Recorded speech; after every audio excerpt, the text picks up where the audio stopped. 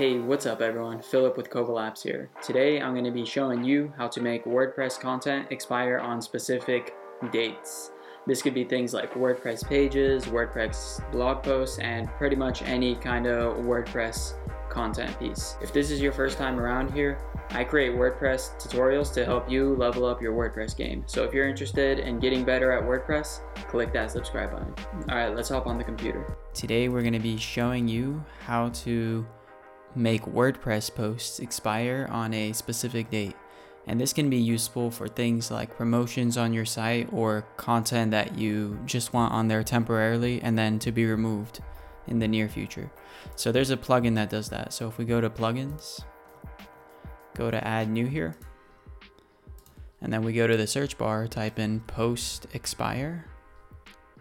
And as we can see here, we have a few results here. There's a few different post expiration plugins, but I found this one, the one with the PE logo, and this may change in the future depending on when you're watching this, but Post Expirator is my favorite one.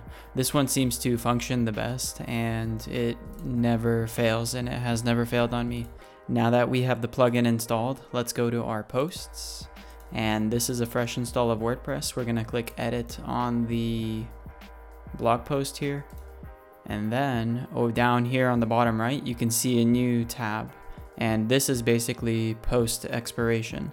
So we can say enable post expiration and we can tell it when to expire.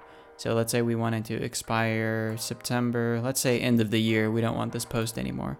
So we'll say December 30th and then you can select the time. Down here it says how to expire and it gives you the option to delete it, trash it, private it, or give it a different category. So this gives you quite a bit of flexibility on how you would like to manage your expired posts. So in our case, I don't want to delete this post. I just want to put it in draft when it's done. So we'll hit update and that's pretty much it. And if we go to our posts here, on the right hand side, it gives you an expiration date. And if you have a lot of posts, you can sort this these posts by clicking the expire button here. If we go to our plugins page and then hit the settings on post expirator, it gives us a few different options on the date format, the time format, we can give it a default uh, category expiration.